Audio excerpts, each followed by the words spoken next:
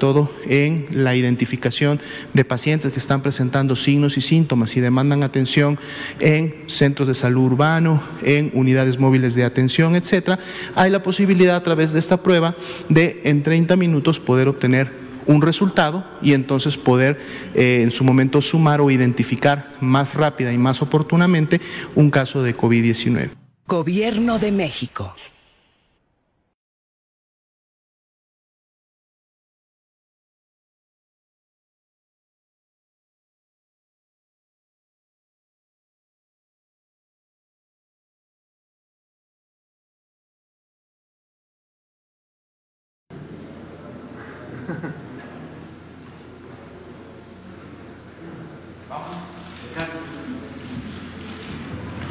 Buenos días.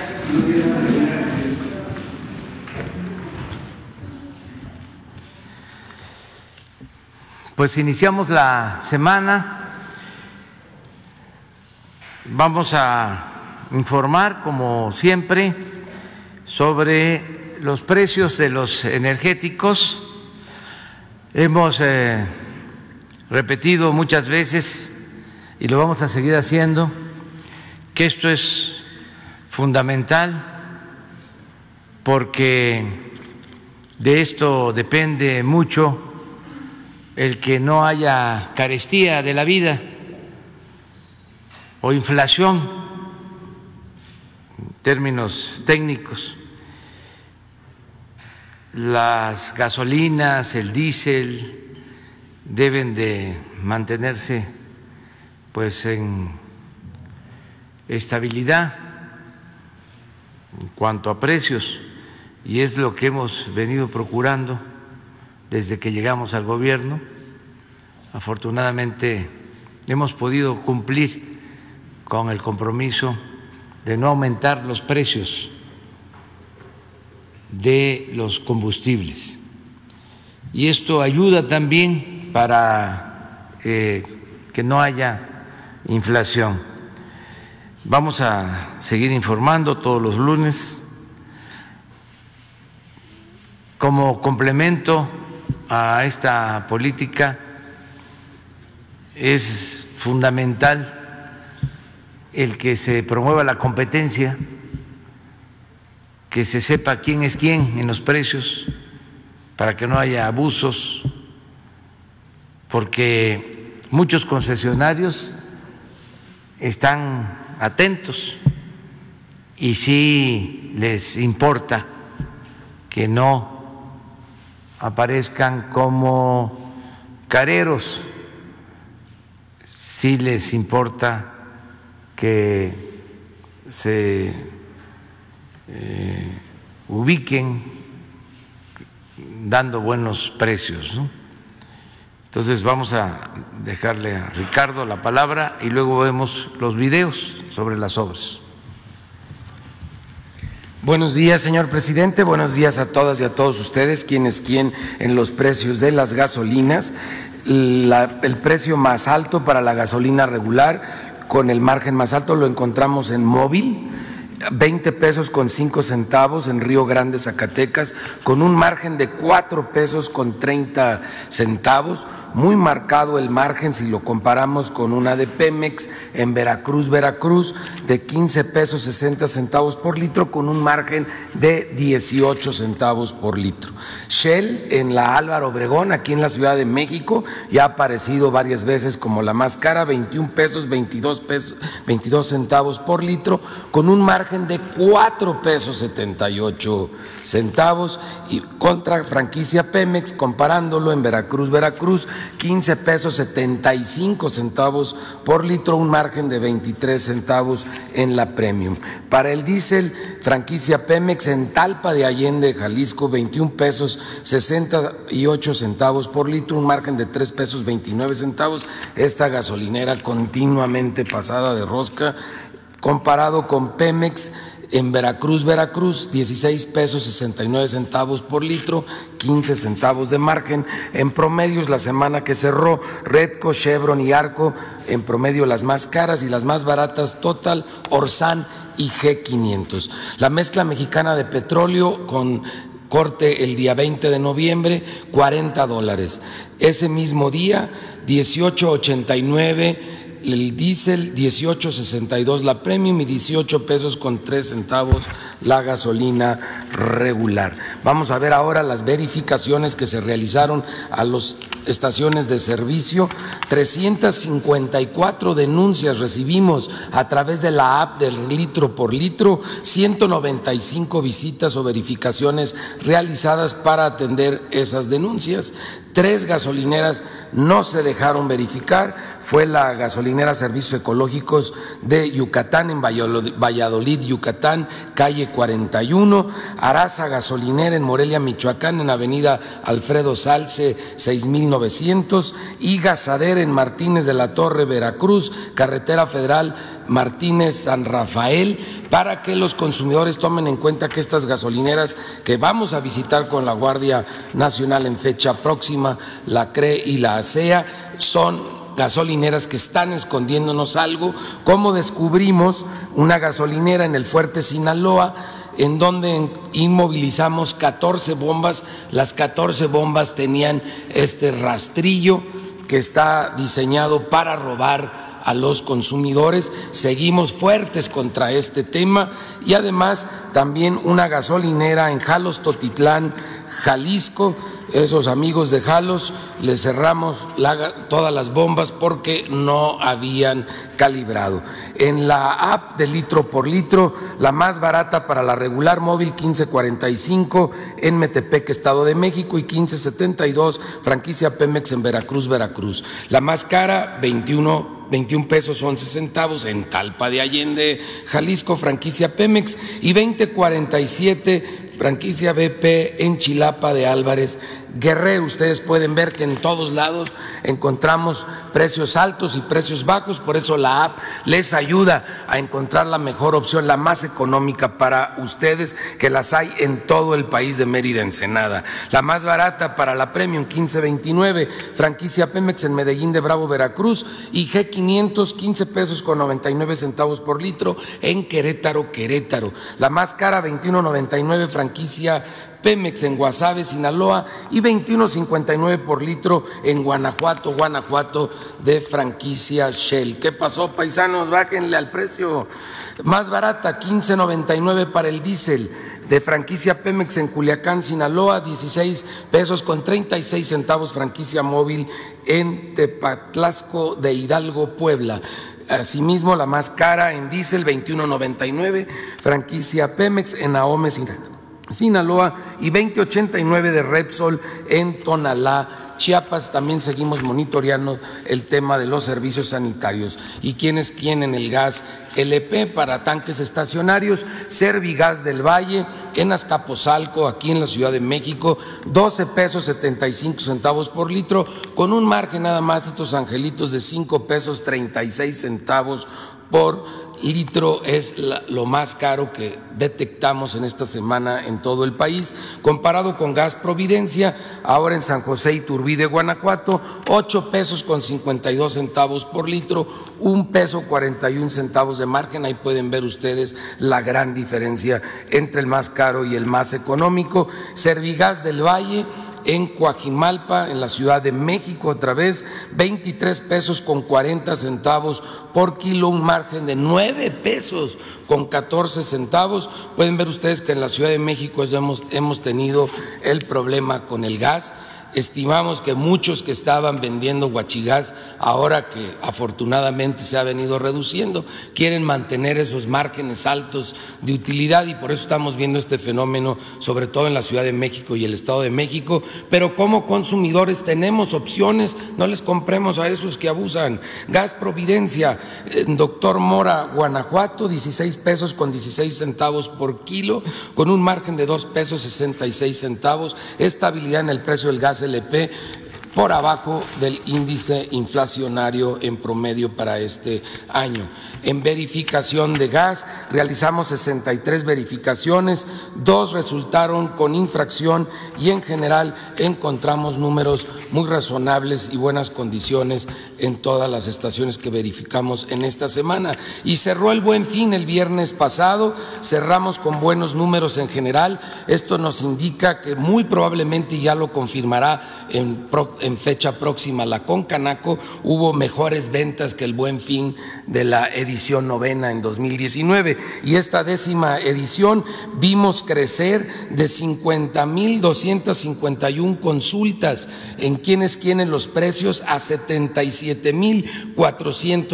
77.442 consultas. Quiere decir que salieron empoderados con información los consumidores a comprar en este año, que reiteramos estos números nos hablan de que fue un buen fin más exitoso que el del año pasado. Buenas noticias para la economía de nuestro país. En reclamaciones recibidas también creció el número, como debieron de haber crecido las ventas, ya lo sabremos pronto, de 661 en 2019 a 1056 en este año reclamaciones pendientes de conciliar, todavía hay dos del año pasado y, subió a 298 que están en proceso de ser conciliadas en los próximos días. El porcentaje de conciliación y reclamaciones concluidas subió del bajó del 88% al 79%, sin embargo el monto recuperado se fue al doble de 2 millones 230 mil a 4 millones 195 mil. Por eso podemos hablar de que fue exitoso porque en general se ve mayores números. Asimismo, en anuncios que tuvimos que corregir o bajar principalmente eh, en términos de comercio electrónico. El año pasado fueron 39 anuncios que bajamos por ser publicidad poco clara o engañosa y subió a 152 en este año porque hubo una mayor participación, sobre todo de proveedores de ropa y calzado que el año pasado no participaron tanto. En pantalla subió el número de quejas del 10% al 28, en ropa y calzado del 15 al 22% esto también porque aumentaron las ventas de estos productos, en celulares del 6 al 18% y en línea blanca del 7 al 17. Los principales motivos de las quejas fue cancelación de la compra o incumplimiento del plazo ofrecido. Quien creció en quejas y bajó en conciliaciones lamentablemente fue el grupo Walmart. El año pasado tuvo un 28% de las quejas, este año ellos tuvieron el 49% de las quejas. Electra subió del 5 al 7%, pero Electra concilió el 100% de todas las quejas. Las ofertas más extremas las encontramos en Sears y en Liverpool. Los consumidores nos informaron que también estuvieron comprando gel y cubrebocas para protegerse en este buen fin y durante el buen fin eh, podemos comentarles que la mayor parte de los consumidores, el 31%, compró con ahorros que tenía. El 24% compró con tarjeta de crédito, fue poco el aumento en tarjeta de crédito, lo cual es muy favorable. Quiere decir que estos meses ahorraron y los aprovecharon en el buen fin, eso nos dicen los números, y la mayoría de las familias gastaron entre mil y diez mil pesos durante el buen fin. Esto fue el 71% de los consumidores que gastaron entre estos mil y diez mil pesos durante el buen fin, que concluyó favorablemente el viernes pasado. Muchas gracias. Vamos a los videos. La Secretaría de la Defensa Nacional informa los avances en la construcción del Aeropuerto Internacional Felipe Ángeles al 23 de noviembre de 2020. En la torre de control y servicios de extinción de incendios, se continúa con el montaje de estructura para el elevador del lobby, la instalación de fachadas en tabla roca de la torre de control y se realiza la simulación del montaje de cabina a nivel de piso en el estacionamiento y terminal intermodal de transporte terrestre, en los diferentes niveles del cuerpo 1 bis se terminan los trabajos de montaje de muros, cimbrado, armado y nodos, así como el acero de continuidad entre traves y columnas. En las redes hidráulicas y sanitarias generales se ejecuta el habilitado de acero de refuerzo en la segunda sección de muros perimetrales del tanque de almacenamiento, relleno, compactación de la cisterna de regulación y preparación de superficie de muros internos para aplicación de recubrimiento. En la terminal de combustibles y red de distribución, se realizan trabajos en los tanques verticales atmosféricos 1, 2 y 3, así como la conformación de terraplén en vialidad central para instalaciones de apoyo a la aviación. En la pista y plataforma militar se continúa la construcción de los encalles de rodaje, el tendido de tubería eléctrica y los bancos de ductos en cruces, colocación de tubos y alcantarillas para el drenaje pluvial, así como el sembrado de pasto en áreas verdes. A la fecha, se han generado 54.950 empleos civiles. Faltan 483 días de construcción. Gobierno de México.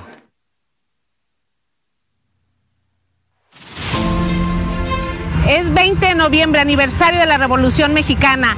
Estamos en la etapa de la cimentación superficial de la planta de alquilación. Ve el reporte esta semana. Sobre el avance en los trabajos de la construcción de la nueva refinería de Dos Bocas, se reporta lo siguiente. Después del pilotaje se inició la etapa de cimentación superficial de las plantas de proceso. Se construye la superestructura de los tambores de coque y cuenta con un avance del 50% en dicha estructura. Y las plantas que han culminado área en la fase de cimentación e ingeniería de detalle continúan con la construcción de los racks de tuberías en sus respectivos sectores. La fase 2 de construcción, ejecutada en los paquetes 1, 2, 3 y 4, a cargo de las empresas Samsung, Icafluor y Techin, han iniciado con el abastecimiento de material y descabece de pilas, así como el diseño en la línea de contraincendio en toda el área de plantas.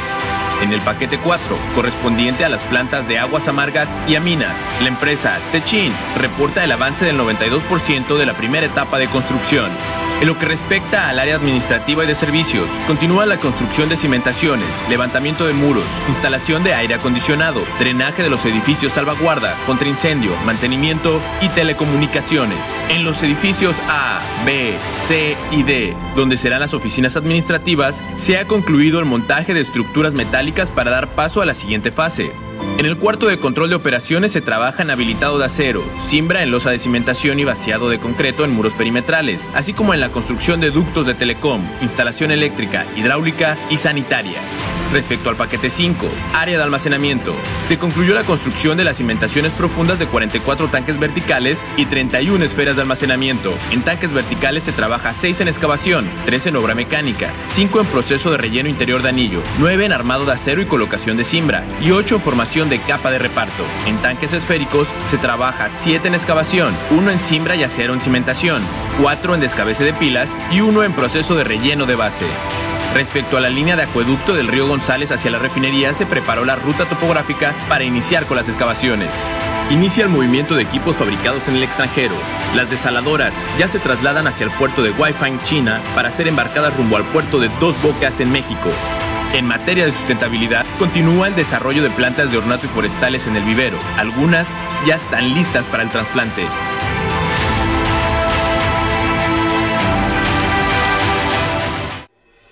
Tren Maya, reporte de avances, semana 14 de 157. En el tramo 1, avanzamos en los trabajos preliminares de los subtramos y el desmantelamiento de la vía antigua. En el tramo 2, iniciamos obra de terracerías para los frentes 5 y 8. En el tramo 3, proseguimos las actividades de corte y terraplén. En el tramo 4, Continuamos, entre otras actividades, el dictaminado y prospección de los arqueólogos de Lina y la elaboración del plan de salvamento. Los 257 kilómetros del tramo 4 del tren Maya pasarán por los estados de Mérida y Quintana Roo, de Izamal a Cancún. La vía del tren correrá de manera paralela a la autopista Cantunil-Cancún. Es por eso que su construcción implicará la ampliación de la autopista. Actualmente tiene dos carriles, que se ampliarán a cuatro, dos por sentido, transformando completamente la vocación de la autopista. 1. Desmonte, retirar el material vegetal. 2. Despalme, retirar una capa que cubre la superficie compuesta principalmente de arcilla. 3. Excavación, con el objetivo de alojar las terracerías. 4.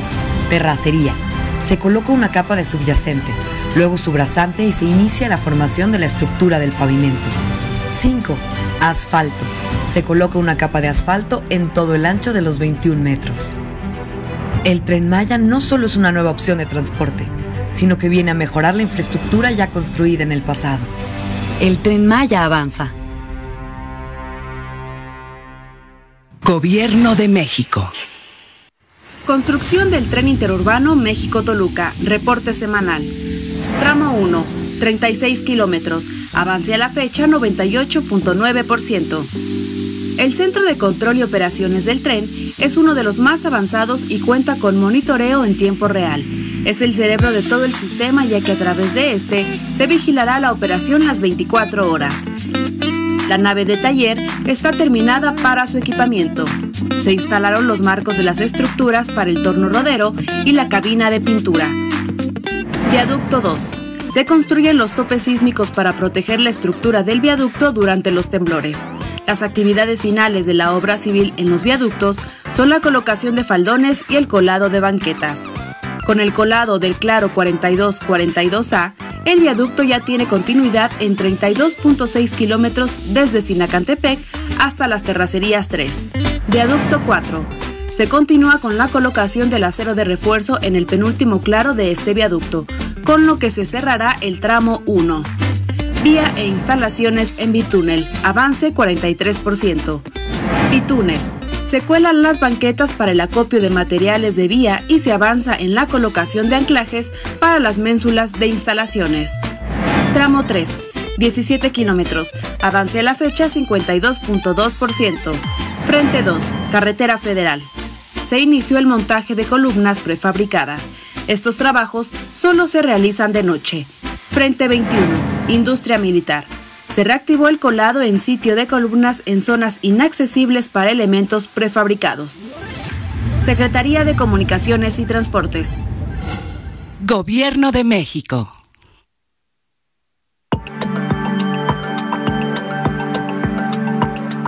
El corredor interoceánico del Istmo de Tehuantepec informa el avance de obras a 23 de noviembre de 2020. En el puerto de Coatzacoalcos avanza la ampliación de 130 metros de muelle, con la cual tendremos una posición más de atraque y se podrán recibir embarcaciones de mayor tamaño. Esta obra se complementa con el dragado de construcción en la zona del nuevo muelle, para alcanzar una profundidad de 34 pies, y con el nuevo acceso carretero que proporcionará un paso eficiente y seguro al recinto portuario de la Laguna de Pajaritos. La construcción del rompeolas oeste del puerto de Salina Cruz aumentará la capacidad operativa del puerto al pasar de 55 a más de 200 hectáreas, con lo cual se podrá mover un mayor número de mercancías. Para ello, se realiza la construcción del muelle temporal de barcazas para embarques de piedra que permitirá colocar más de 7.5 millones de toneladas de piedra que formarán parte del rompeolas. En el ferrocarril del Istmo de Tehuantepec, con una inversión de más de 3 mil millones de pesos, avanza la rehabilitación de la vía férrea en cinco tramos, con acciones de desmantelamiento de vía, colocación de durmientes, elaboración de cunetas, entre otras. Las obras del corredor interoceánico generan empleos directos e indirectos que impactan a las familias mexicanas y se traducirán en desarrollo y bienestar para la región. Gobierno de México. Muy bien, pues esta es la información. Abrimos para preguntas y respuestas. Buenos días, presidente. Fabiola Ayala de Publimetro. Eh, regresando al tema del outsourcing eh, y sobre los sectores que también eh, se verán involucrados en esta en esta regulación. Me gustaría saber, en cuanto a la seguridad privada, sobre todo la que operan para colaborar en los aeropuertos, si también va a entrar en este esquema o qué se espera que ocurra, dado que pues es un tema sensible donde al, al llegar son otros otras las empresas las que están este, revisando a los pasajeros antes de, llegar a las aduanas y al final es un tema sensible que también se ha discutido en otras ocasiones, saber eh, cómo se va a hacer esto al respecto y si es una oportunidad para revisar la seguridad que se tiene en los aeropuertos eh, para las, las, empresas de outsourcing. Sí, estamos eh, revisando la iniciativa. Vamos a tener una reunión precisamente el día de hoy por la tarde con integrantes del sector empresarial para explicarles sobre eh, esta iniciativa de ley que ya se envió a la Cámara de Diputados. El propósito es de que no se abuse de la subcontratación, que eh, se especifique en qué condiciones se puede llevar a cabo eh, la subcontratación en este, actividades que lo requieran. Y en el resto de actividades, lo que tiene que ver claramente con la relación de eh, patrones y trabajadores, empresas y trabajadores, ahí no eh, permitirlo, para que eh, no se le quiten prestaciones a los trabajadores. Porque el contratarlos por tiempo determinado eh, implica que el trabajador no tenga eh, ninguna seguridad en lo social, no se le den prestaciones. Por eso el fenómeno este raro de que en diciembre, cuando se le tiene que entregar a los trabajadores aguinaldo, se les tiene que entregar en algunos casos reparto de utilidades, se les despide para volver a contratarse a los trabajadores eh, en enero, en febrero. Entonces, esto es totalmente irregular. Eso ya no queremos que siga sucediendo.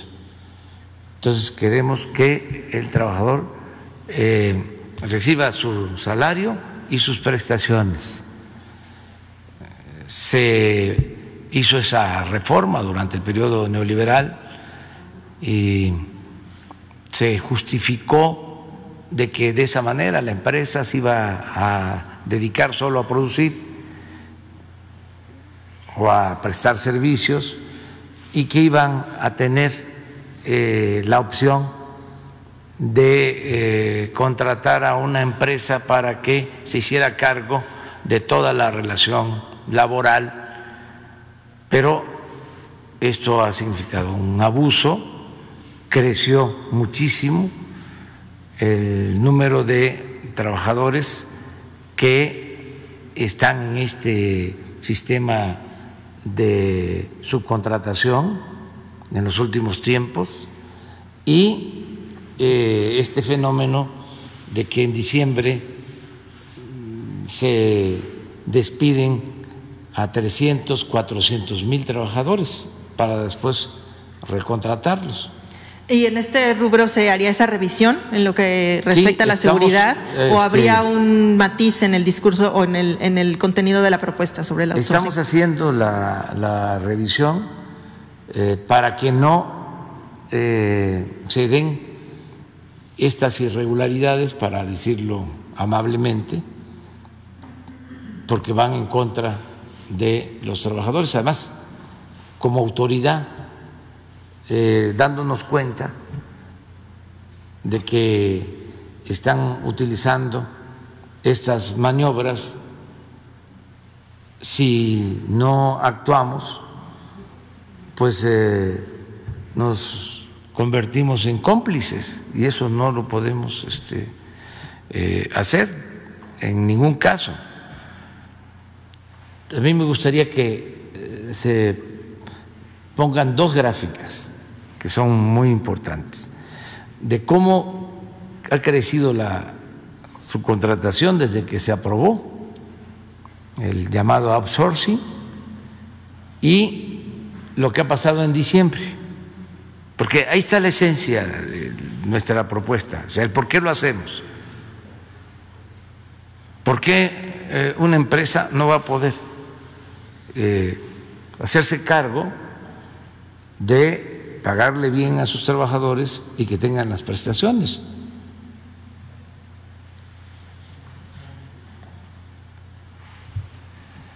Se dice, es que se van a perder empleos. Pues ¿para qué? Este, vamos a estar promoviendo empleos eh, mal pagados. Es una vergüenza que el salario en Guatemala, en Belice, en Honduras, en El Salvador, sea más elevado que en México. Es una vergüenza que esté más elevado el salario en China que en nuestro país. Hace 20 años no era así. Decían que la ventaja comparativa de China, y por eso se convirtió en la fábrica del mundo, eran los bajos salarios. Resulta que durante todo el periodo neoliberal los salarios en México, en vez de crecer, disminuyeron. Este, se perdió poder adquisitivo en el salario. Entonces, apenas y estamos cambiando esa política y esto es parte de lo mismo. Miren cómo creció.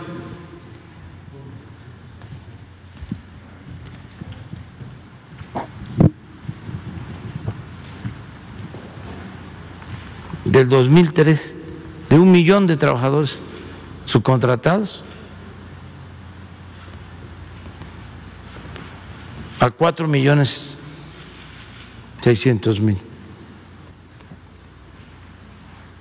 Ahora, la lámina de diciembre. Miren esto. Lo que se pierde en diciembre. De empleo. Que es una maniobra que hacen. De diciembre 18, diciembre de 19.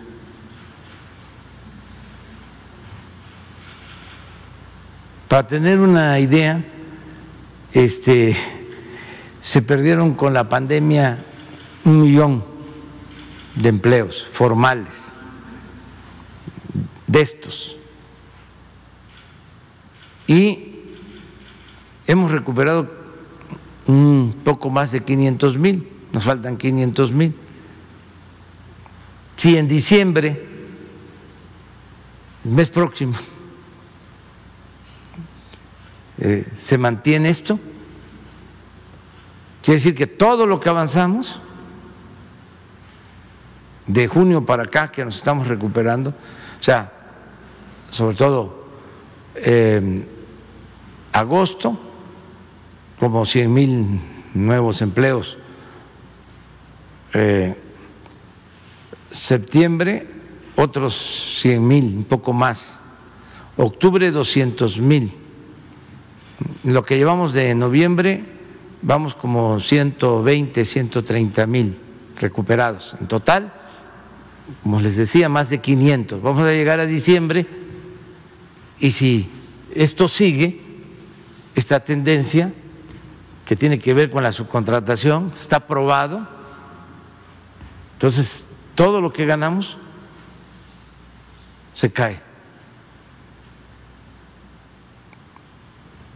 nada más para precisar, sí me gustaría saber si eh, particularmente en la seguridad de los aeropuertos se haría un es nuevo en esquema. General, nada más vamos a ver este, en qué casos sí hay una justificación para que se tenga este mecanismo.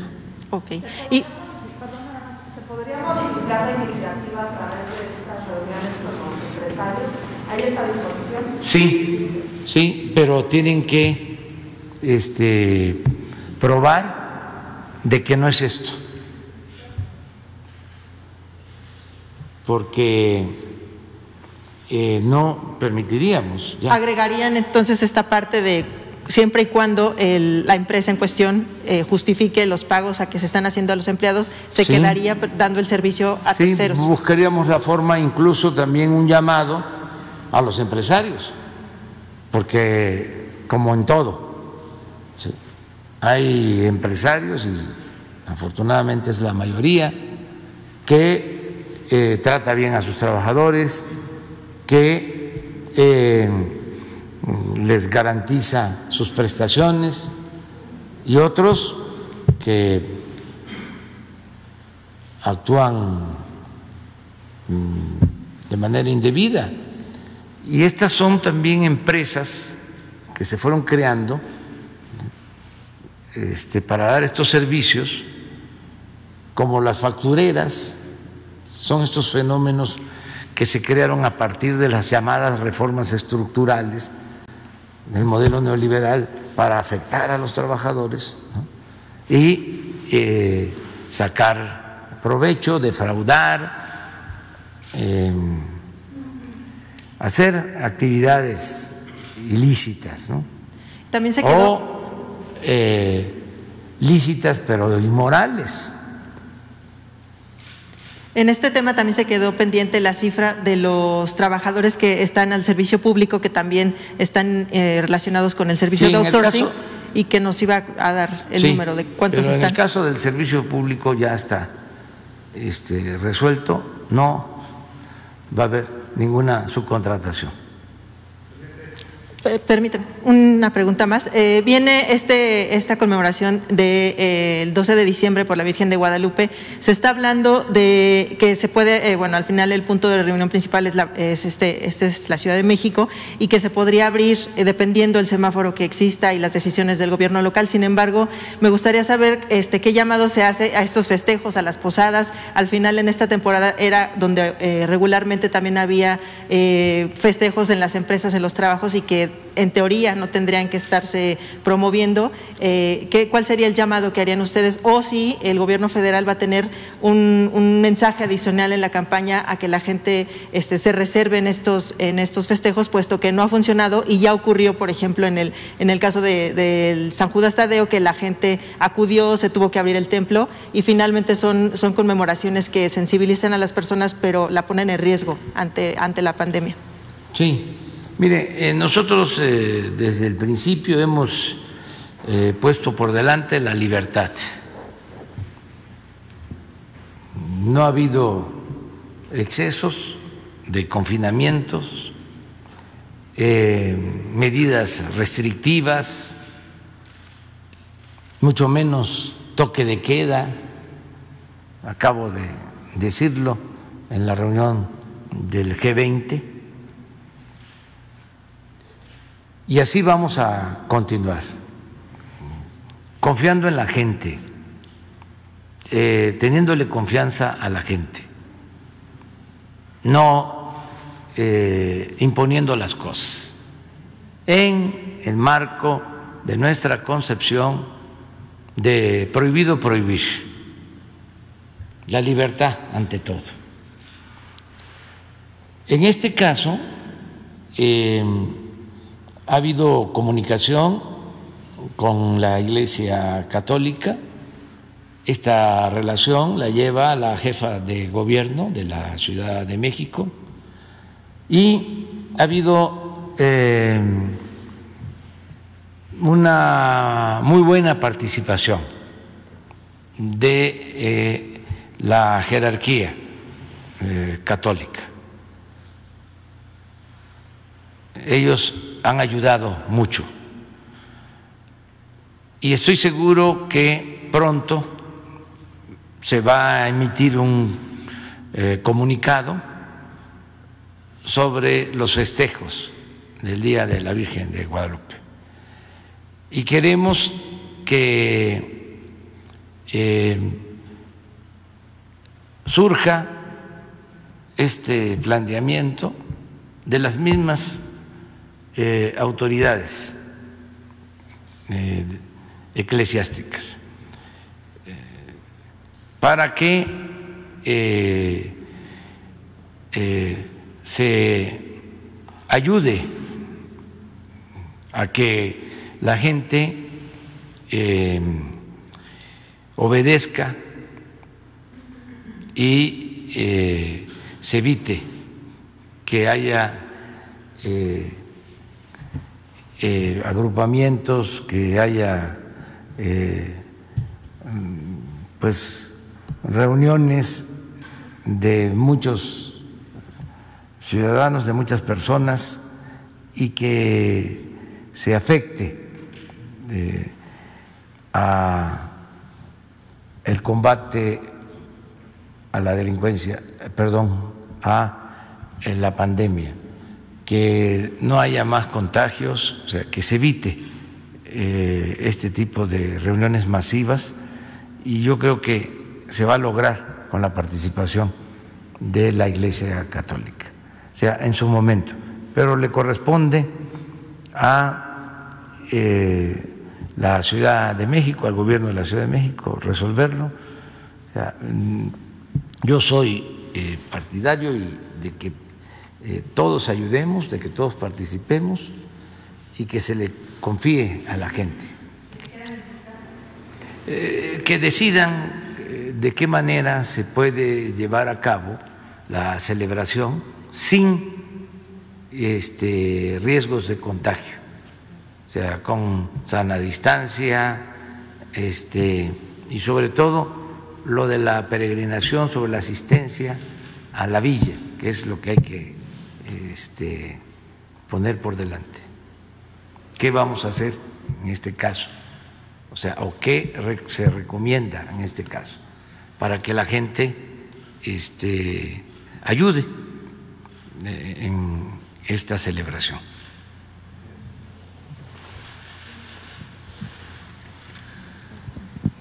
Gracias, presidente. Buenos días. Eh, Dalila Escobar de, de Atiempo.tv. Eh, bueno, pues se da a conocer que la Fiscalía General de la República inicia una investigación por manejos irregulares eh, por 400 millones de pesos derivados del Fondo para el Fortalecimiento Financiero este en el gobierno de Coahuila. Saber usted qué información tiene, sobre todo cuando usted mencionaba que había malos manejos de fondos en los gobiernos estatales o bueno, en, diferentes niveles también de gobierno. Saber si tiene información en ese sentido y eh, si tiene que ver también con lo que han mencionado en el tema de los malos manejos que ustedes encontraron en todo tipo de fondos. Sí, eh, no tengo información mm, específica sobre este caso. En el caso de Rubén Moreira. No tengo este, información. Hay denuncias seguramente en la fiscalía y ellos van a resolver en la fiscalía. Lo que nosotros sí estamos eh, manteniendo como acción principal del gobierno es no permitir la corrupción y la impunidad. Eso es lo básico. De nuevo recuerdo, ¿no? Lo que decía yo desde la campaña. Si me preguntan qué va a hacer el gobierno y que yo lo diga, responda en lo que tardo, parado en un solo pie, acabar con la corrupción. Ese es el plan.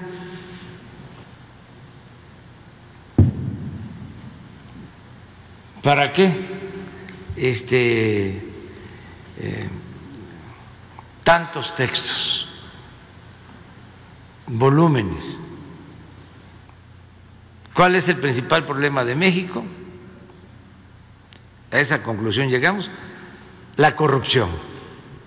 Es lo que daba al traste con todo. El mal que más aqueja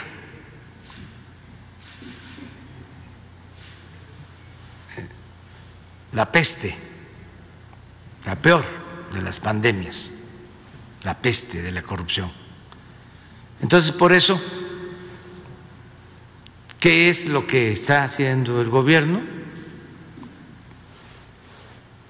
Desterrando la corrupción. Entonces, no hay tregua en eso. Y también no hay impunidad, sea quien sea. Entonces, si hay una investigación abierta acerca de un mal manejo de dineros del presupuesto, se le debe dar curso y la Fiscalía tiene que actuar. Y hay una Fiscalía anticorrupción y no permitir por nada la corrupción y quienes eh, son responsables de actos de corrupción no solo eh, deben ser castigados, sino se tiene que procurar de que devuelvan lo robado. Que incluso esto es lo que más debe de importar, porque es dinero del pueblo, que para alcanzar la libertad bajo derecho de fianza se considere primero si ya devolvieron lo que se robaron. Y que eso ayude al acusado, pero que devuelva. No es que se le otorgó eh, fianza, salió en libertad, está sujeto a proceso, pero se le dejó todo el dinero. Bueno, se llegó al colmo en sexenios pasados que se les devolvía todo a los corruptos. Hay casos así emblemáticos de que están en la cárcel, salen de la cárcel, llevan a cabo juicios como tenían agarraderas, como tenían influencias, con jueces, con magistrados, incluso hasta con ministros, lograban que les devolvieran todo. Eso ya no debe de seguir existiendo, solamente que les hayan eh, fabricado los delitos pero en este gobierno también, así como no se tolera la corrupción, la impunidad, no se fabrican delitos a nadie. No se ordena desde la presidencia de que se persiga a alguien y que se le busque y se le enjuicie y se le encarcele no. Entonces, en este caso de Coahuila, que la Fiscalía investigue y se llegue hasta las últimas consecuencias. Sobre este mismo tema tendrá que ver también con el asunto de que pues no se ha querido aprobar el fuero, eliminar el fuero constitucional. Eh, sabemos que también podría alcanzar a los legisladores y bueno, pues sabemos que algunos que han sido gobernadores, bueno, le brincan al legislativo. Eh, precisamente usted lo mencionaba el otro, el otro día buscando su fuero, pero también, bueno, pues porque el mismo Ricardo Monreal ha mencionado que ha sido muy difícil encontrar consensos e incluso mencionó que por mucho que usted quiera, pues la última palabra la tiene el legislativo y hasta ahorita el legislativo pues ha sido un no. Sí, pero eh, tengo información que esta semana van a tratar el asunto y voy a estar pendiente. Quiero ver quiénes son los que se oponen a que se quite el fuero al presidente de la República, porque está muy eh, extraño. ¿Por qué no juzgar al presidente como a cualquier otro ciudadano? ¿Por qué mantener el fuero? Más eso es decimonónico, es algo que surge desde el siglo XIX, mantener fueros, mantener privilegios. Eso no tiene que ver con nuestra realidad. ¿Para qué se tiene un instituto de la transparencia, una fiscalía anticorrupción? Sí, al mismo tiempo, el principal funcionario público, el principal responsable del el gobierno, goza de fuero y no puede ser juzgado más que por traición a la patria. Tendría que ser como Santana,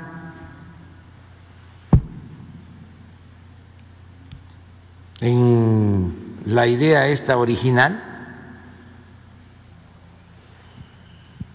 para poder ser juzgado. Pero por actos de corrupción, no. Por abusos de autoridad, no.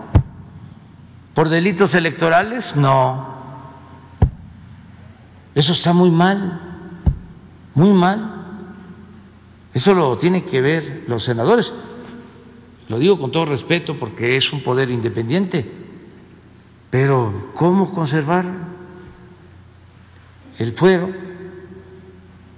Primero, se argumentó que iban a entrar senadores y que iban a entrar diputados. Se congeló, se rechazó la primera iniciativa que envié. Ahora envié otra, ya no estoy incluyendo a legisladores, ni se incluye a otro tipo de autoridades, es al presidente, porque es muy importante que un sistema político presidencialista, el titular del Ejecutivo no tenga fuero, porque los problemas de corrupción, de abusos de poder, en un sistema presidencialista se originan porque se toleran desde arriba o hay asociación delictuosa o hay tolerancia desde lo más alto del poder. Entonces, quitarle el fuero al presidente ayuda mucho a terminar con la corrupción. Eso que menciona sucedió en anteriores administraciones, eso de tolerar desde arriba una asociación delictuosa. Sí, claro, en todos los casos. O sea, ¿qué decían antes? De que eran los funcionarios, de que el presidente no se enteraba El presidente es buena persona, pero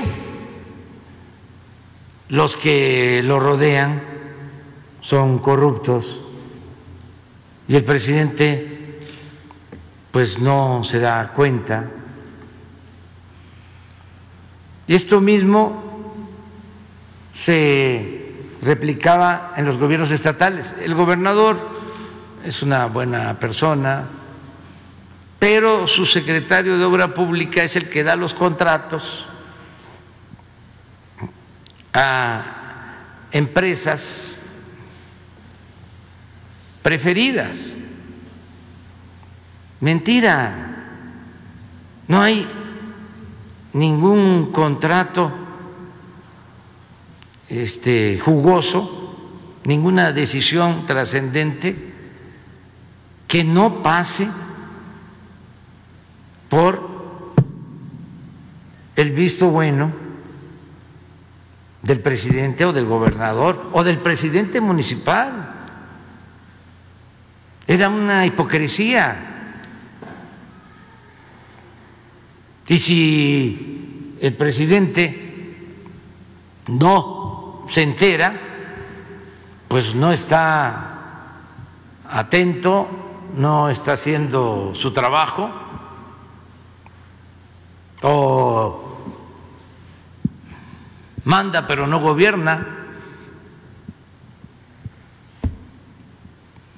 Presidente tiene que estar, y el gobernador, y el presidente municipal, pues muy pendiente de todo. Tú fuiste presidente municipal, ¿no? Sí. ¿Y te metían goles? No me gaba. Ah, bueno. Este, esto es eh, muy importante. También ya desmistificar, porque todo esto lo fueron eh, elaborando, eh, fue este, introduciéndose en el imaginario colectivo de que como el presidente, como el gobernador, son los de abajo. No, hay una responsabilidad arriba. Gracias, presidente. En un segundo tema, justo sobre el asunto del general Cienfuegos, em, preguntarle, eh, ¿cuánto tiempo le informaron que llevaba Estados Unidos haciendo esta investigación? Y de ser así, eh, a dos años de que usted llegó al gobierno, desde su gobierno no se dieron cuenta que había indicios de que pudiera haber una relación o asociación delictuosa entre el general y, bueno, de acuerdo con lo que acusa Estados Unidos y el eh, crimen en México. Y, y, si no fue así, eh, entonces Estados Unidos habría estado iniciando una investigación de la nada, habría sacado delitos de la nada.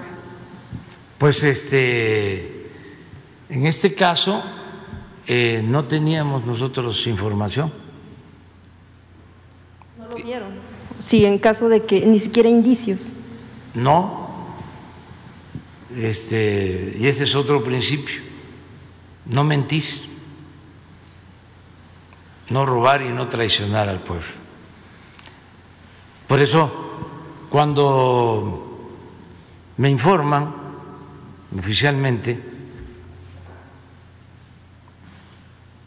este, me llamó a dudar de cómo estaba elaborada la investigación, como si yo estoy aquí todos los días, de seis a siete, recorro todo el país, estoy pendiente entonces, por eso, pues pedí que se revisara el marco en que se da la cooperación con las agencias de Estados Unidos y pedí que enviaran investigación, este, elementos de pruebas y tengo que agradecer al gobierno de Estados Unidos porque nos atendieron. No es como dicen algunos que amenazamos, no, ha habido una muy buena relación de cooperación, de confianza. Entonces, esto surgió de manera extraña, aunque no hay nada casual, este, se presenta esta acusación. Desde luego nosotros actuamos con prudencia porque se da en vísperas de las elecciones. Aquí les consta, dijimos, vamos a esperar que pasen las elecciones, pero al mismo tiempo, eh, por los canales, por las vías diplomáticas, se hicieron los eh, trámites que corresponden cuando se tiene un gobierno independiente, libre, soberano, y hubo apoyo, hubo colaboración del gobierno de Estados Unidos, enviaron la información, se envió esa información a la Fiscalía y se tiene que reponer el procedimiento. Eso es todo. Porque el presidente de México pues no es un florero. No estamos aquí de adorno. Y no hay ningún acuerdo en lo oscurito. No es que se haya amenazado, ni mucho menos lo que están diciendo una agencia de estas famosas. Sí. ¿Cómo se llama? Reuters. Reuters. Es famosa, ¿verdad? Es especializada en finanzas. Sí, ¿no? Es general, pero es como la AP o así, famosa, pues se equivocaron, porque insinuaron, para que no vayan a decir que este, no tenemos cuidado en el manejo del lenguaje, insinuaron de que nos mandaban al general Cienfuegos para que nosotros les mandáramos a un jefe de una banda del crimen organizado. O sea, quién sabe en qué estaban pensando o quién les filtró esa información. Porque también esa era otra práctica muy arraigada y perversa de que se filtraban informaciones para generar desconcierto, para quitarle fortaleza a las instituciones mexicanas, para poner en entredicho al gobierno de México y al país. Entonces eso se terminó, sea quien sea si se miente y se eh, busca perjudicar a México, tenemos nosotros que replicar, eh, informar, argumentar, no quedarnos callados. Por eso es importante la autoridad moral. Porque si hay autoridad moral, hay autoridad política. Imagínense si nosotros nos metemos a hacer acuerdos en lo oscurito, surge una situación de esta eh, naturaleza, de este tipo, y de inmediato se exhibe al gobierno, se pierde autoridad.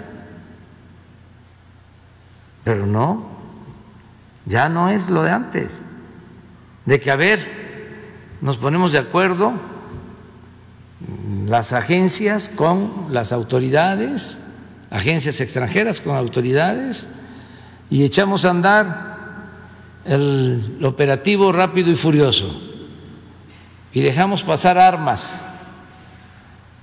Esa este, decisión tan dañina que se tomó. Imagínense dejar pasar armas, supuestamente con sensores, para ver cómo iban a llegar esas armas en manos de delincuentes. Ese es un acuerdo entre gobiernos, en sigilo, encubierto. Pierden el control de las armas, nada más, este, como se demostró, había una relación de complicidad casi total entre delincuencia y autoridades. Inmediatamente los grupos de la delincuencia ya sabían qué armas eran y usan las armas para cometer crímenes. Resulta fallida la operación. Hay quienes pierden la vida incluso estadounidenses, y le dan carpetazo al asunto.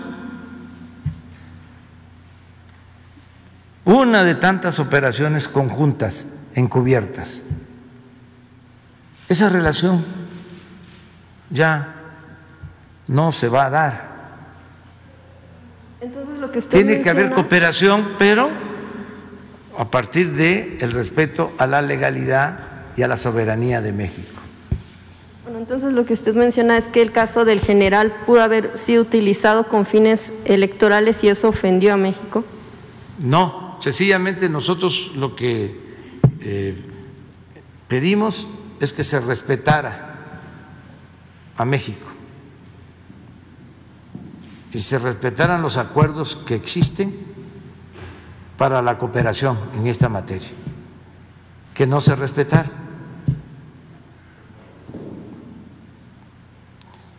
¿Por qué eh, lo hicieron?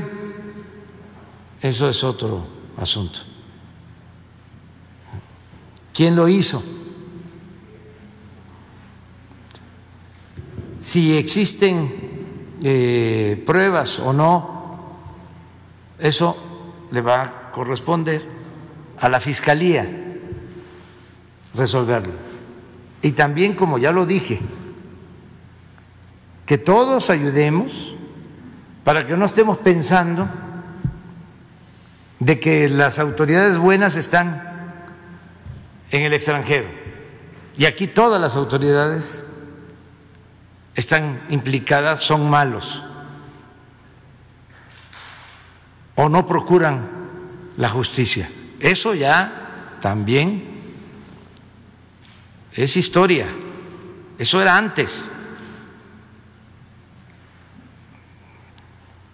Acuérdense que estamos en un proceso de transformación, más que a muchos todavía no se les avisa de que esto ya cambió. Por eso se este, enojan, se llenan de desconcierto, pero ya es distinto. El fiscal, Alejandro Germanero, es una persona recta, él tiene a su cargo atender este caso y otros y hay que esperar el resultado. Y no se van a fabricar delitos como tampoco va a haber impunidad para nadie. Así de claro. Al margen de la ley nada, por encima de la ley nadie. Entonces, esperemos.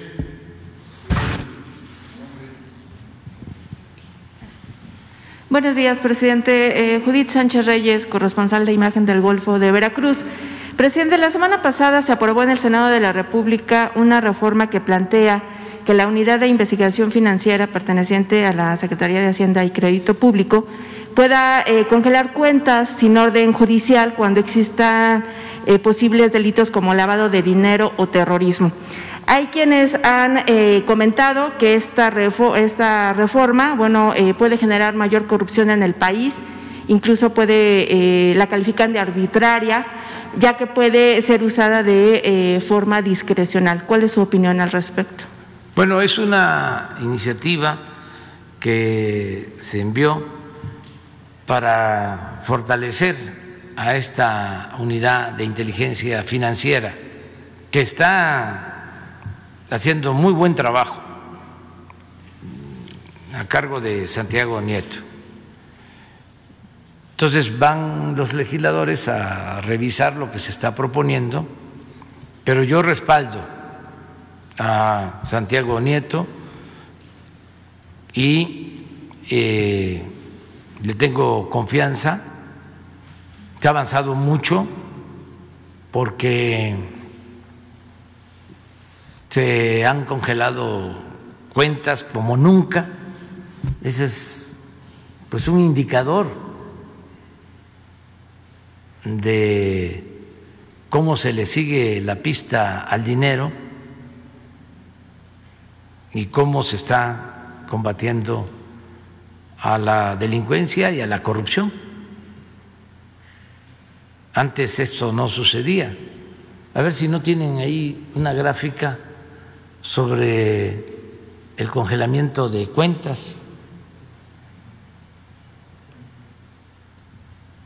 Antes y ahora, porque este es un indicador que ayuda a entender de que pues esta institución, esta dependencia de la Secretaría de Hacienda eh, está haciendo su labor.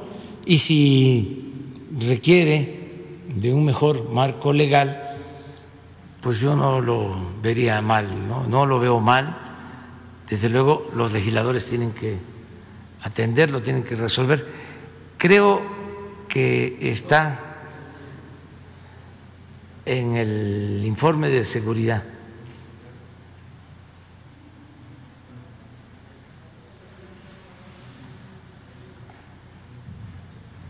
Pues por esto y por otras cosas, este, la gente nos sigue apoyando. Mire.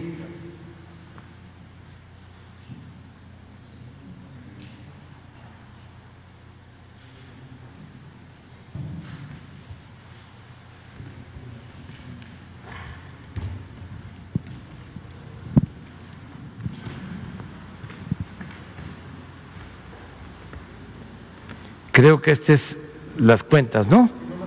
Y este es el monto.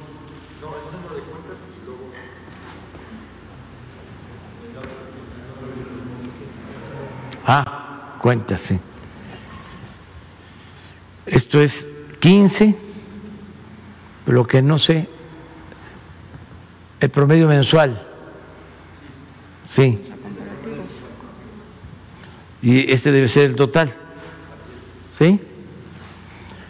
Esto es en el 15, 3.548, en el 16, 7.414 en el 17, 4.941. Miren el 18. 800. Ya el 19, 12.080. Y en lo que va del 20, 19.622. Ahora el monto.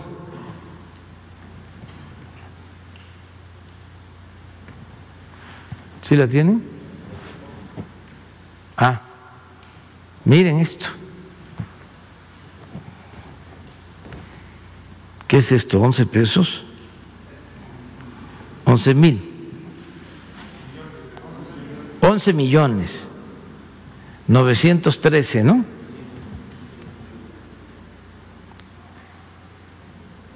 O sea que esto es un millón al mes. En el 15, 76 millones al mes en el 2016, son 913. En el 2017, 8 millones al mes, 94 millones. No, pues aquí en el 18, mire, 69 millones. Ya en el 19 es cuatro mil 750. 397 por mes y ahora 794 millones por mes, 7.935 millones. Entonces sí está haciendo su trabajo. Aprovecho para decir que es por esto y por este, la responsabilidad en el manejo de las finanzas públicas y también por los programas de bienestar que la gente nos está dando su apoyo, porque hoy viene una encuesta donde se sorprenden de que estemos arriba, que nos está apoyando la gente, y dicen que es por los programas sociales. No solo es por los programas sociales, claro que eso es importante, porque la gente sabía que había corrupción, que se robaban el dinero, pero no este, veía eh, claro. Ahora eh, se les está entregando todo lo que antes se robaban y por eso la gente está apoyando al gobierno que se acabe con la corrupción. Pero hay muchísimas otras acciones. No sé cómo está ahora el peso, nuestra moneda. Ayer, imagínense el orgullo que me dio decir que en dos años no se ha devaluado, no se ha depreciado nuestra moneda, decirlo eh, en frente de jefes de Estado, y más orgullo me da poder decir que el precio de la gasolina hoy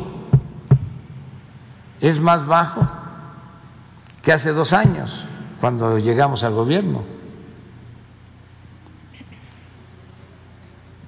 Entonces, para los que andan este, buscando, explorando el por qué es que la gente nos mantiene su apoyo, su confianza, pues esas son las razones. Por eso también resistimos todos los embates de los medios, de la prensa conservadora y de grupos que estaban acostumbrados a robar y de los que no nos quieren, pero no avanzan porque el pueblo nos está apoyando y por lo mismo nunca vamos nosotros a traicionar al pueblo. 20. Saben que llegó a estar a más de 25 por dólar con la pandemia. O estamos 5 pesos abajo. Y en términos reales no ha habido depreciación en los dos años. En este año sí, por la pandemia, pero si consideramos los dos años, no ha habido depreciación, porque el año pasado se apreció el peso. Entonces, por eso eh, aunque se cayó este año por la pandemia, nos mantenemos en términos reales. Presidente, de estas cifras que nos acaba de mostrar, eh, ¿todas esas cuentas se han congelado o después se han descongelado? Sí, ha habido procesos, eso ya lo tendría que explicar más este, Santiago Nieto. Hay cuentas que permanecen congeladas porque hay juicios hay personas que están siendo juzgadas, empresas, y hay otras que se les liberan sus cuentas, porque no se trata de congelar por congelar, o sea, tiene que haber un motivo.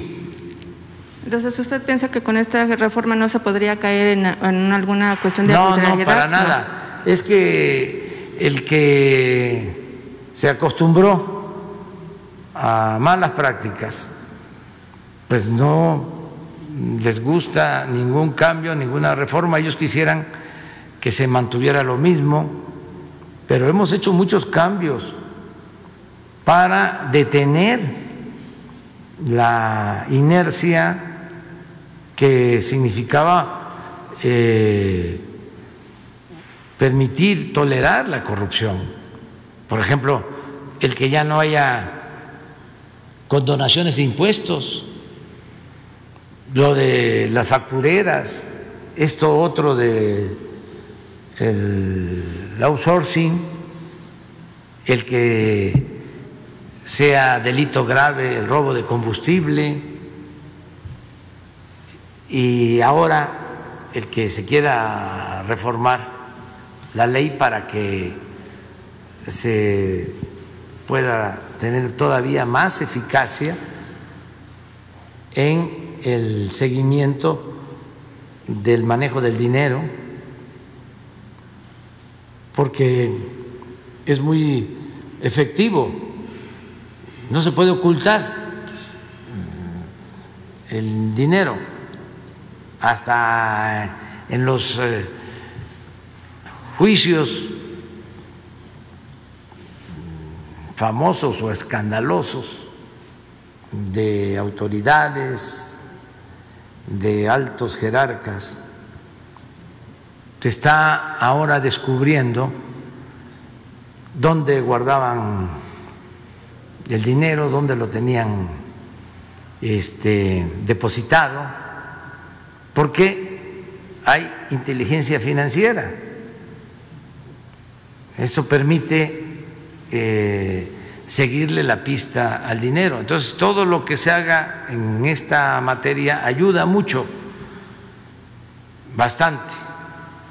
Eh, presidente, ¿qué información tiene sobre eh, esta mm, inconformidad que están presentando algunos representantes de comunidades al sur de Oaxaca sobre eh, la cuestión de la, de la construcción del corredor interoceánico. Ellos manifiestan, de hecho esto ya lo están poniendo ante la oficina del alto comisionado de la ONU aquí en México, porque eh, comentan que no tienen plena información de los riesgos e impactos ambientales y sociales. ¿Tiene usted información al respecto? No, pero no hay problema en ese caso, ¿no? Se ha estado haciendo consultas, se cumple con todo el procedimiento este, legal, pero volvemos a lo mismo. Habían quienes eh, sacaban raja de eh, presionar a autoridades corruptas que en vez de beneficiar a las comunidades, iban a saquear a las comunidades. Entonces, se crearon eh, asociaciones de ambientalistas cuyos dirigentes pues sacaban provecho. Pero ahora, pues nosotros somos ambientalistas. Y ellos eh, buscan que se mantengan las mismas prácticas de la negociación. Habían casos en donde no se daba un permiso para construir. Los estudios de impacto ambiental, por ejemplo, y desde el gobierno le decían la empresa o a quien iba a llevar a cabo una construcción. No te damos el permiso Pero hay un despacho particular que te puede arreglar los documentos, porque lo que estás presentándonos está mal hecho. Entonces, si contratas a ese despacho, él te va a hacer bien las cosas. Y ya cuando tengas ya el estudio hecho por este grupo, me refiero a los estudiosos del medio ambiente, ya lo traes y es muy probable que te demos el permiso. Así funcionaba. Y esos despachos estaban vinculados con las autoridades ambientales. Y lo mismo los grupos. Aquí hemos eh, dado a conocer cómo algunos grupos ambientalistas estaban financiados o están financiados por empresas extranjeras, en el caso, por ejemplo, del tren Maya y también del istmo grupos ambientalistas eh, financiados para oponerse a la construcción del tren Maya o de nuestros proyectos. Se acaba de dar a conocer el dinero de este grupo México en favor de la corrupción el de Claudia X González, de cuánto eh, invirtieron, primero, quiénes los financiaban, las empresas que los eh, estaban financiando o siguen financiando. además, eh, todo ese dinero era deducible de impuesto. ¿Y para qué utilizaban ese dinero? Pues para los gastos de abogados que presentaban amparos en contra del aeropuerto Felipe Ángeles y para oponerse a todo lo que nosotros estamos llevando a cabo. Entonces, eh, no hay ningún problema en el caso del istmo. También no quiero generalizar, hay este, asociaciones no gubernamentales de verdad, independientes, que eh, defienden a la gente, que defienden a los campesinos, que defienden eh, el medio ambiente, que protegen la naturaleza, que sinceramente están preocupados por que no se destruya el territorio, pero hay también, como en todo, muchos farsantes aprovechados que pues este se quedaron pues colgados de la brocha se les movió el, piso porque eh, era un modus operandi en el gobierno o en los gobiernos corruptos. Entonces ahora ya no hay eso. Ya es eh, actuar con transparencia, portarnos bien todos para sacar adelante al país, como está sucediendo. Finalmente, presidente, usted ha manifestado su postura respecto a las recomendaciones que ha hecho el Fondo Monetario Internacional. Mi pregunta sería, eh, ¿qué instancia o, u organismo de corte internacional ¿le daría usted el crédito ¿no? o la validez para poder tomar en cuenta alguna sugerencia y aplicarlo en la cuestión de las políticas económicas, sobre todo en este eh, panorama que todavía se vislumbra de incertidumbre económica, porque la pandemia, vaya, eh, va a seguir y todavía no sabemos hasta cuándo. Entonces, que eso no solamente podría impactar a nivel eh, nacional, sino incluso internacional. ¿qué, ¿Qué organismos? Bueno, yo siento que este, no actuaron bien los organismos internacionales en el pasado durante todo el periodo neoliberal en México, ellos fueron corresponsables de la crisis de México. Sin duda, ellos imponían la política económica. Cuando comenzó a imponerse esa política, obligaban al gobierno de México a firmar las llamadas cartas de intención y ahí se establecía lo que tenía que hacer el gobierno, una violación flagrante a la autonomía, a la soberanía de nuestro país. Ahí recomendaban que no aumentaran los salarios y gobiernos subordinados, serviles, aplicaban esas políticas. Por eso, en 30 años, el salario mínimo perdió más del 70% de su poder adquisitivo. A veces aumentaban el salario mínimo por abajo de la inflación. Hubieron años que hicieron eso.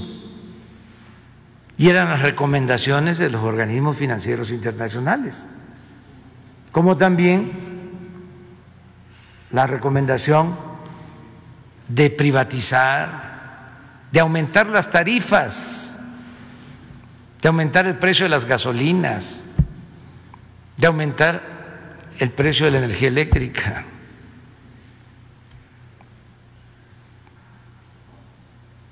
Esas políticas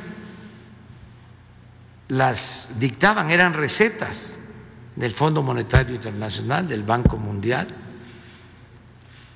que son corresponsables, pero la culpa mayor este, la tuvieron quienes les hicieron caso, los gobiernos de México. toda la política privatizadora, de entrega de los bienes del pueblo, de la nación a particulares, fue una recomendación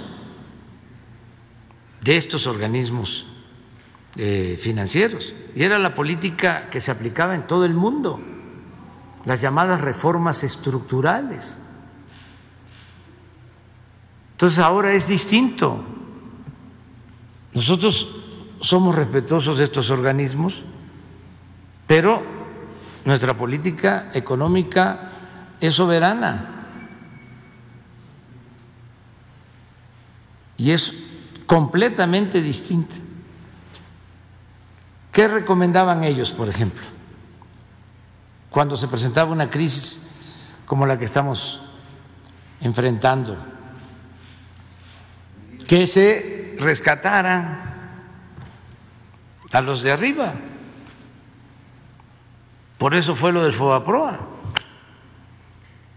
Imagínense convertir deudas privadas en deuda pública.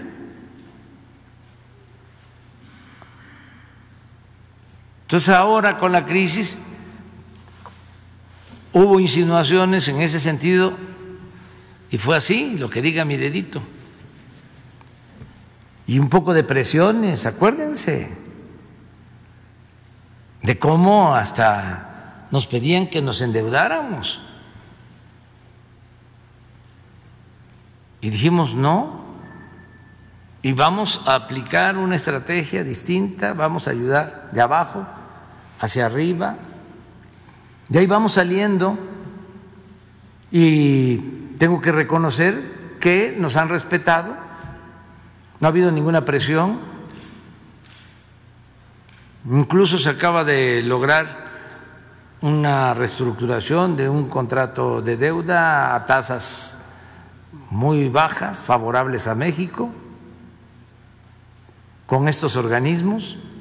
Ya es un trato distinto y qué bien que ellos están buscando un cambio en sus políticas que resultaron un rotundo fracaso.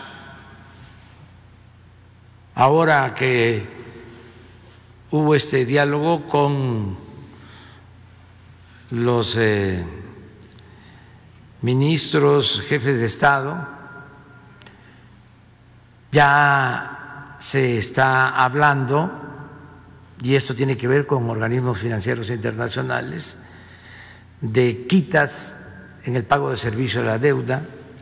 Nosotros agregamos que no solo debe ser quitas para reducir el servicio de la deuda o lo que se destina al servicio de la deuda, sino también quitas al capital, todo esto en beneficio de países pobres y también que se promueva que las tasas de interés para países en vías de desarrollo, países medios,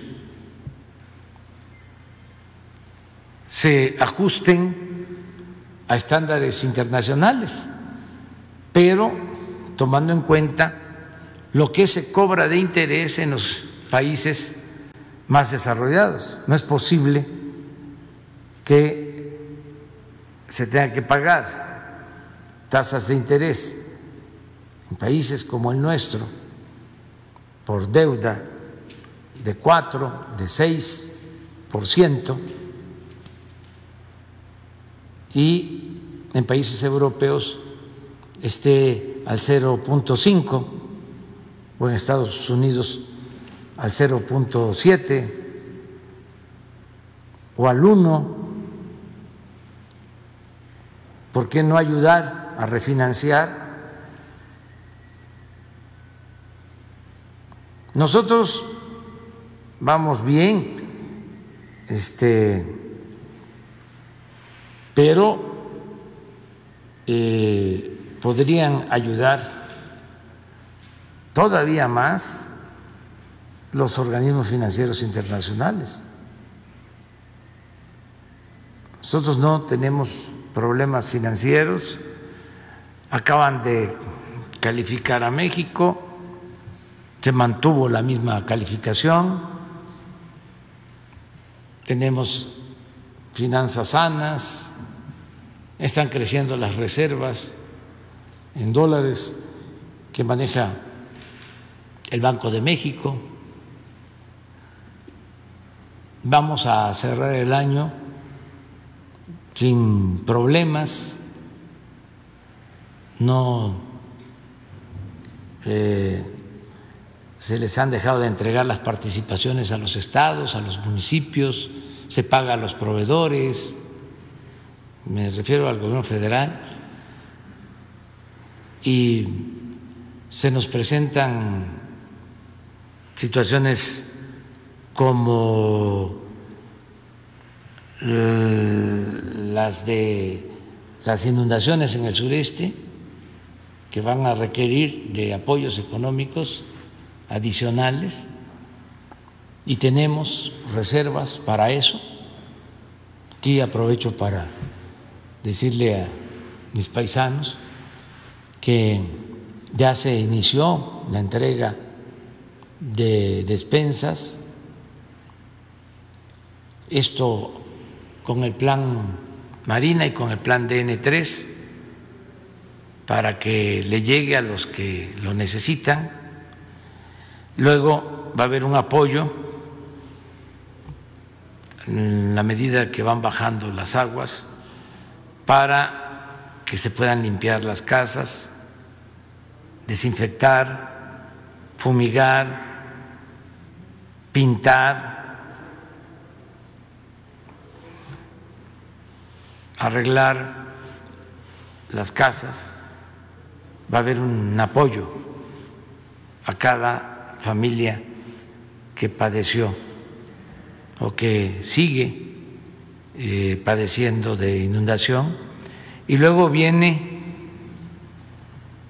una tercera etapa que es la entrega de enseres domésticos, camas, estufas, refrigeradores,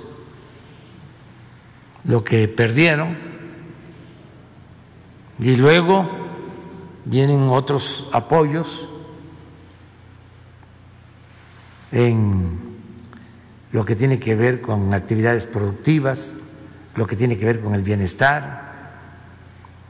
Y eh, las acciones de fondo para que se proteja a la población de las inundaciones, el dragado de los ríos, que no se ha hecho en décadas, ya tenemos el recurso para la compra de dragas que van a estar desasolvando los ríos.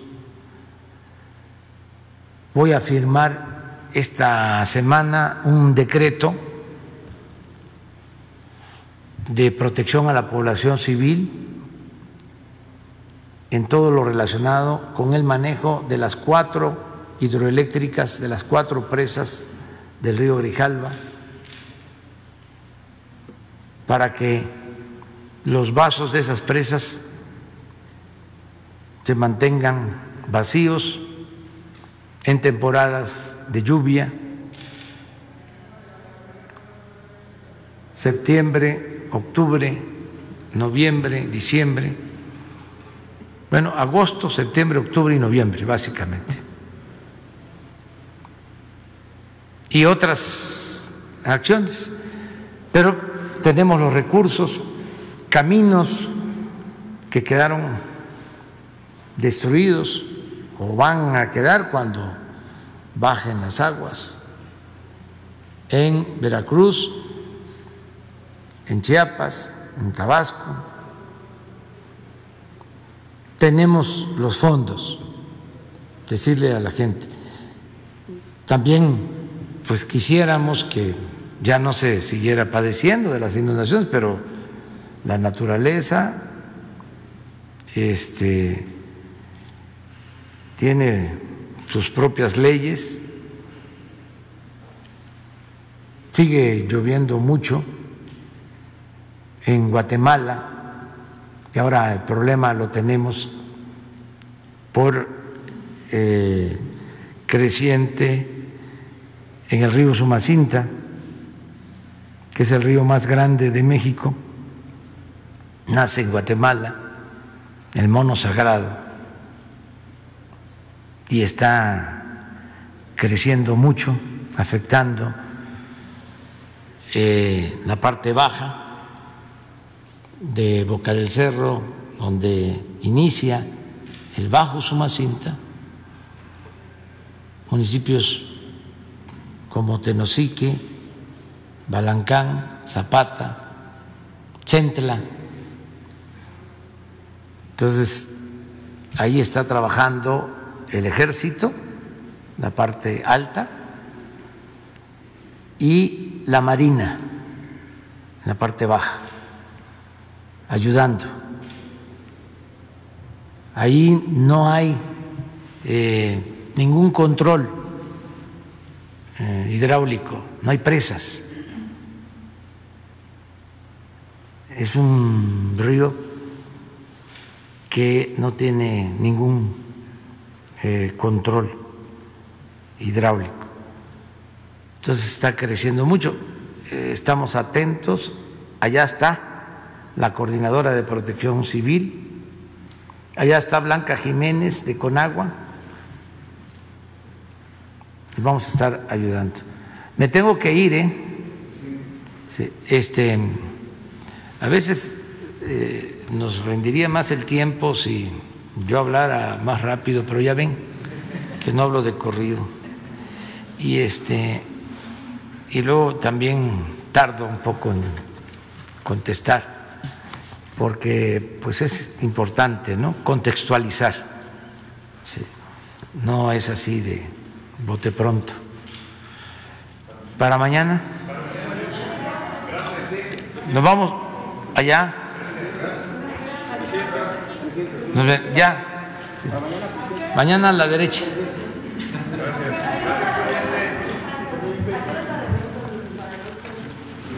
Creo que es como a las 7 de la noche, hoy.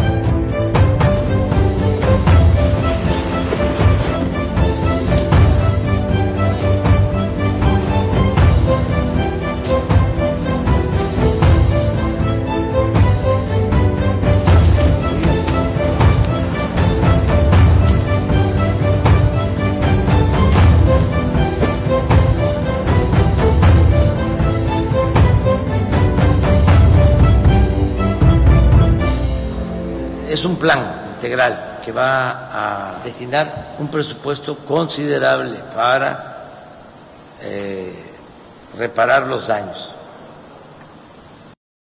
Gobierno de México.